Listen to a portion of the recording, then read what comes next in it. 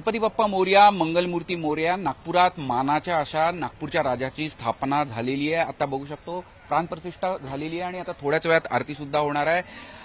गेल्या सव्वीस वर्षांपासून या मंगलमूर्तीची स्थापना होते आणि मोठ्या उत्साहात गाजत वाजत मूर्ती आणण्यात येते आणि पूर्ण दहा दिवस संपूर्ण नागपुरात गणेशोत्सवाचा एक वेगळाच असा उत्साह दिसून येतो. खरं तर नागपूरच्या राजाच्या मूर्तीचं एक वेगळं वैशिष्ट्य होतं पण कोरोनाच्या काळानंतर निर्बंध लागल्यानंतर चित्र थोडं बदललं. गेल्या तीन वर्षांपासून चार फुटाचीच मूर्ती बसवण्यात येते. याला याच्यावर वेगळे अलंकार लाखो रुपयांचे चढवण्यात येतात. आणि यंदा कोरोनाच्या निर्बंधांमुळे याला थोडं अंकुश ठेवण्यात आलाय. अजून कोरोनाचा पूर्ण धोका टळला नसल्यामुळे आणि यंदा मंडपाची जी थीम आहे ती स्वातंत्र्याचा अमृत महोत्सव या थीमवर संपूर्ण मंडळाने डेकोरेशन केलं. या थीमवर प- मंडप सजवण्यात आलेला आहे. आपल्यासोबत मंडळाचे पदाधिकारी मानापुरे साहेब आहेत.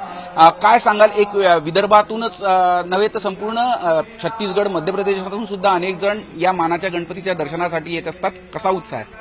उत्साह तर भरपूर असतो. कारण इथे लोक देखावे किंवा हे पाहायला येत नाही तर हे मानाचं स्थान आहे. याचं काही त्यांची अनुभूती लोकांना येते. त्याच्यामुळे इथे दर्शनासाठी लोक येतात.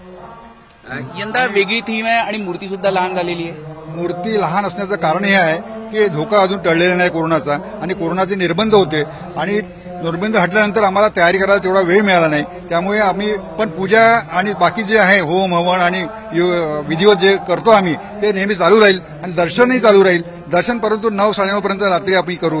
त्याच्यानंतर दर्शन होणार नाही कारण धोका टळलेला नाही त्याच्यामुळे. तर आपण बघू शकतो मुंबई पुणे आणि नागपुरात सर्वत्र गणेशोत्सवाचा एक वेगळा उत्साह आहे. प्राणप्रतिष्ठा संपूर्ण गणेशाची झालेली आहे. आणि पुढील दहा दिवस संपूर्ण राज्यभर एक उत्साहाचं आणि मंगलमय असं वातावरण राहणार आहे. झी मीडियासाठी व्हिडिओ रत्नशीसह अमर काणे नागपूर.